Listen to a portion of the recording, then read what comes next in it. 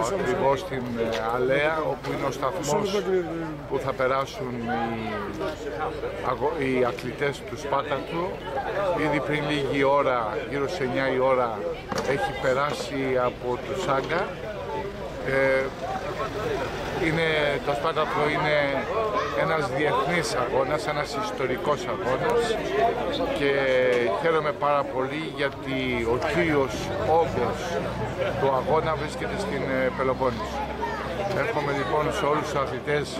να τερματίσουν με τις καλύτερες προϋποθέσεις και θεωρώ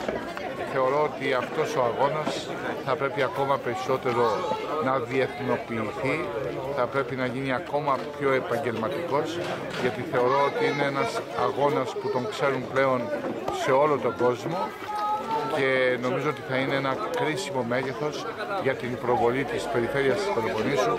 αλλά κυρίως για την ιστορική ανακάλυψη της ε, αναφοράς του αγώνα αυτού και βέβαια πρέπει να μας απασχολεί όλους τους πολίτες. Όλοι πρέπει να έχουμε κατά νου την ιστορία, τη μεγάλη ιστορία της Πελοποννήσου και βέβαια το σημαντικότερο γεγονός είναι και η ανάδειξη της πόλης της Σπάρτης που αποτελούσε την πιο ιστορικότερη πόλη και τον κύριο ανταγωνιστή της Αθήνας αλλά κυρίως όμως εμπνέει σήμερα